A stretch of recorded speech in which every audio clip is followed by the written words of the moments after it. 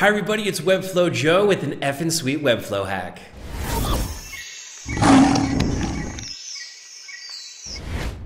In this hack, we learn how to create a back button that sends the user back in their browser history. We'll see how to send them back one step, two steps, or as many steps as you want. And we'll also look at two different ways to do it. One way with an href inside your link settings, and the other way with jQuery inside custom code. Let's see how it works. We're in the live example and we're going to see how we can go back two different ways.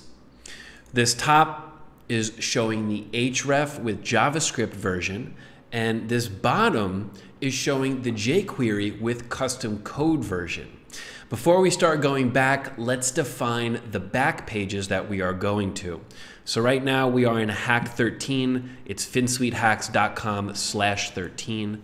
Now we're going to go to 12. So now we're back one step. And then we're going to go to 11. Okay, great. So now we've been to 13 to 12 and now 11. And now we are going to go back to 13. Okay, so we're going to go back one page, which would send us back to 11. Great.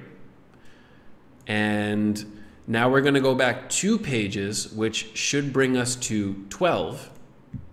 And there we go, we're back to 12. And we're going forward again back to, let's go, let's restart this for jQuery. Uh, and now we're back on 13. Let's define these back pages again.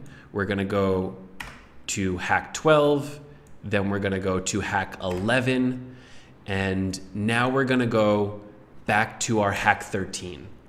Great. So we go back one, it should bring us to 11. Wonderful.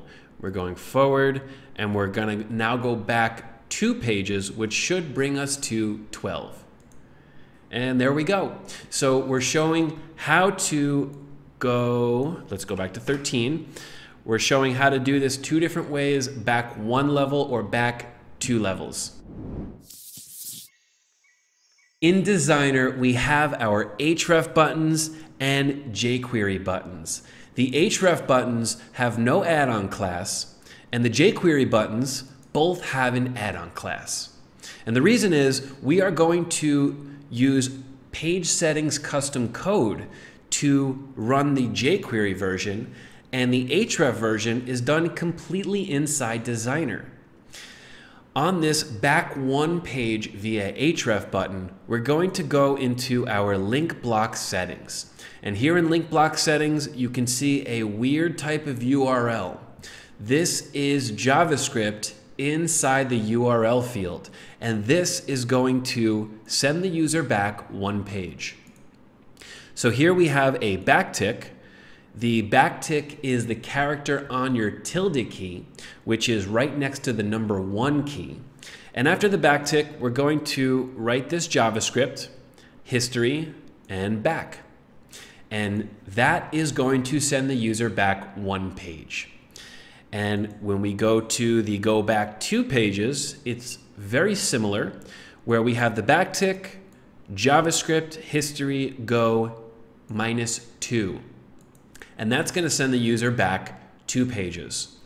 And remember, no add-on classes needed here. It's all done inside the link URL or the href.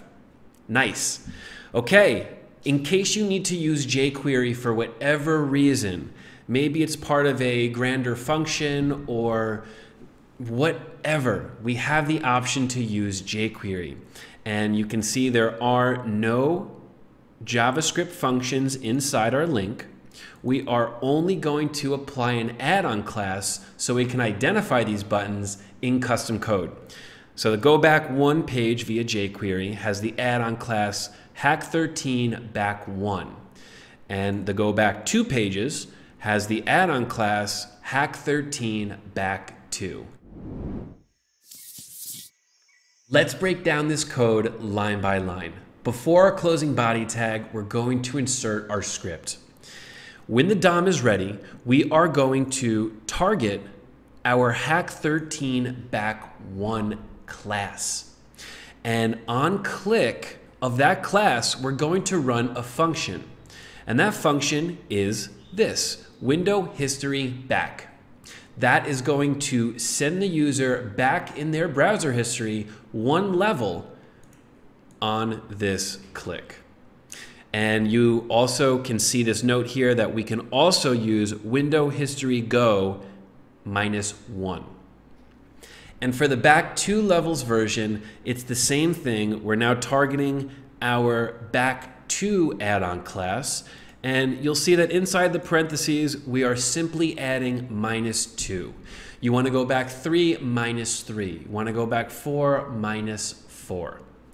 And that's it. That's two different ways to send the user back in their browser history. Thank you so much for checking out this hack. Please clone the project. We have the entire hacks project available for clone. Start learning how these hacks work and use them on your live site. We're always releasing new hacks. So if you want to be updated, subscribe to our YouTube channel.